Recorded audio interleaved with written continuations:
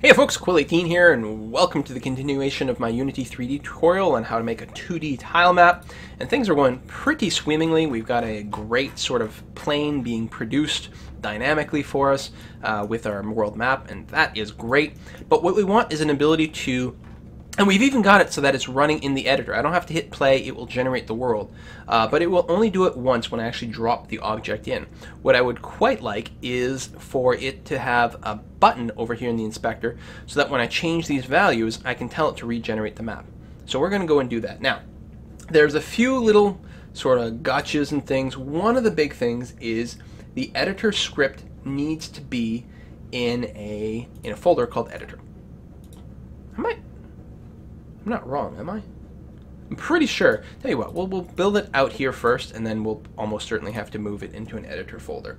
So we're going to call this, uh, and we can call this basically anything we want, but I'm going to call this uh, tile map. Mm, editor is pretty common, inspector is possible. We'll say inspector. Tile map inspector. Now, this is going to start off, it's going to build it as a standard sort of mono behavior object, these sorts of things. Things have got to change a little bit. Uh, first of all, it's not derived from mono behavior. Well, actually, first of all, we the using Unity engine is not what we need. We actually need using, oh, come on, Unity editor. That's what we need first of all. Now, these things you may or may not need. In fact, like it always adds system collections. A lot of times you don't need these in your script at all. You can remove that. And you may not need Unity Engine at all either if you don't need to call on certain functions. We might as well leave it in. It doesn't really hurt us at this juncture. But what we need to do is change this. It's not a mono behavior. It's derived from editor, the editor class. And we can get rid of these. And it's going to have a function. It's uh, public, I think it's an override because it's a virtual function. I'm not sure if you need the actual override keyword, um, but I think you do. And then on inspector GUI. And then we do stuff. Um, and what this will do is this will allow us, this is just like the on GUI, command that you are used to for having GUI uh, objects on the screen, but in this case it's part of the inspector GUI and it's going to be added here. But how does it know that this tile map inspector is meant to add a button to our tile map script as opposed to anything else? Well, we use one of these other sort of uh, instructions over here and we specify this is a custom editor for objects with a type of tile map. So now this will appear here. Oh, wow. It actually doesn't have to be an editor subfolder. I think that may just be for JavaScript things. Instance of tile map inspector couldn't be created because there's no script with that name.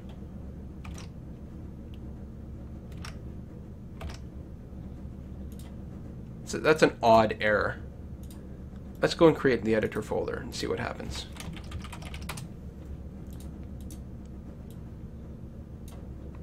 Move it there. Select this.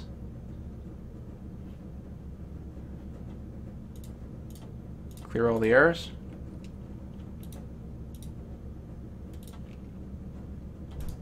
Because now it's just blank.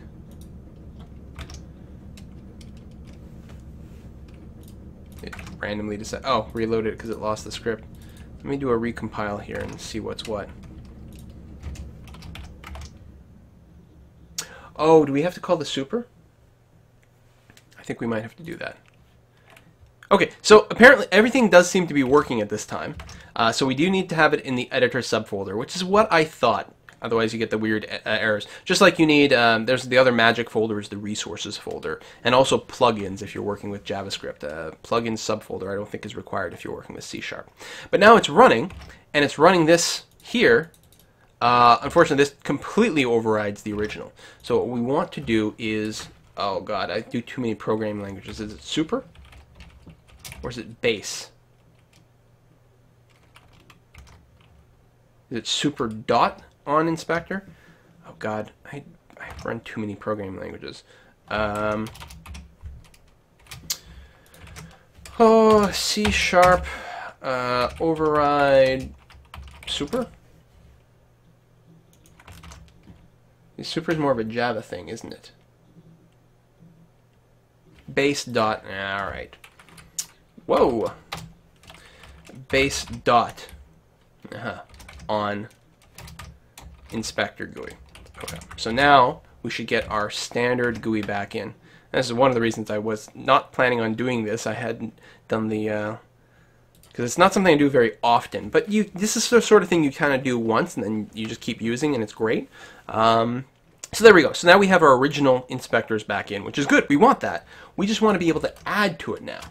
And so we will use very simple kind of GUI type stuff. Except instead of uh, you, you know, you may have used GUI layout before. Well, this time around we're going to use editor GUI layout.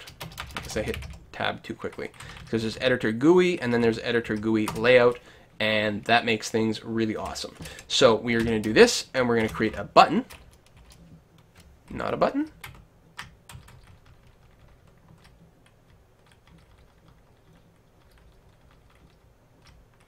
What? I've done this before.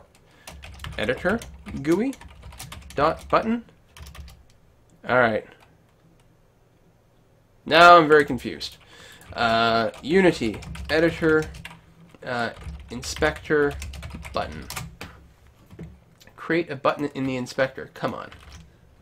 This is not complicated. But these are the things you Google when you're doing the search. Oh, you can just use a GUI layout. Oh! The editor GUI functions are just the specific functions for the GUI, or for the editor type stuff, the inspector type stuff. But, um, and actually what we could apparently do here is do a draw default inspector, which I hadn't realized. So is this really the same as that? Indeed it is. I don't know, I still like calling the base for whatever reason. It seems to make more sense, but I guess this will be fine. And then, so if GUI layout dot button, and we're going to call it um, regenerate. We're going to do something. So if that button gets clicked, so let's make sure the button actually shows up. There we go. Now we have a regenerate button. It doesn't do anything yet, but that's okay. So what we want to do at this point is we want to say to this tile map, hey, rebuild. And we know the function is called build mesh. We will have to change this to a public. Right, build mesh. So we want to call build mesh, but on what? Well, what we need to do is we actually have something called a target built in here. So um, literally, like, we have target. Now target, I believe, again, on my auto completion or my, my pop-up's not working properly, but I believe is a generic object type, so we have to cast this to tile map. And if I want, I could cache this. Like this. I could I could cache it somewhere else if I wanted to. Um, let's do it. Just do it this way. It's fine. And then I can call tilemap dot build mesh. So, all that to get us to the point where I could change my tile size back to 1, regenerate. Change it to 5, regenerate. Try 2, that's good. Let's go back to a 5 and change the size. Let's make it square. Regenerate. Looks good. All right. Regenerate. Boom. Now, again, at some point, yeah, I was going to say, you'll get this cleaned up leaked objects in scene since no game object component or manager is referencing them. This is not a bad thing. It's a, it's a notice that I, I, I don't know if it needs to exist, uh, but it's there. And the reason is that as we call build mesh over and over and over, um, our old mesh is not technically being destroyed. It's not really being leaked. It's just being garbage collected. Where, you know, because our mesh filter.mesh had some new mesh sitting in memory.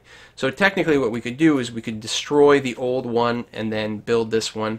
Um, but then there's a, some weirdness because in the editor saying destroy something doesn't really work the, the same way. You want to use destroy immediate, which is something that's sketchy to use when you're outside of the editor. You know what? It's fine. It's going to get garbage collected. Everything is fine. There's nothing to worry about. So there's just a little bit of a button to make your life easier. Um, and you can do quite a bit more with this if you actually do use the um, uh, editor, editor GUI layout dot um, I guess we'd have to do the the begins, wouldn't we? Well, what if we just use editor GUI? Oh, but then we have to give it coordinates. Layout dot begin area, begin vertical. Oh, there's no begin area. Well, that's interesting. So we can just do this. I'm just trying to give a demo for, I don't know what reason. Uh, end vertical, editor, GUI, layout, dot, and then, you know, do you want a slider? Um, that goes from, so serialized property, yeah, we have to feed it a property in there. Or do we? Current value, we're going to give it a current value of 0.5. Uh, the left is 0. The right goes all the way to, let's say, a 2.0. Um, and we don't need to pass it any options. Uh, or can we just pass it a null?